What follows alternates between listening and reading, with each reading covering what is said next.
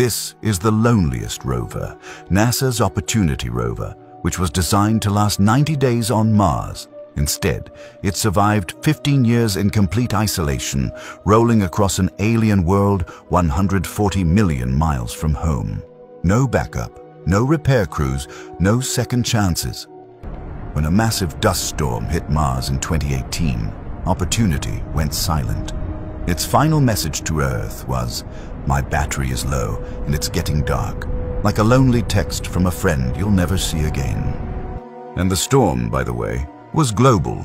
It completely obscured the surface of Mars. NASA spent months trying to wake it up, playing its favorite wake-up songs into the void. Think about it. This little rover survived longer than anyone expected. It watched Martian seasons change for over a decade and traveled 28 miles across a planet where no living thing has ever set foot. It saw sunrises and sunsets on an alien world that no human eyes have ever witnessed.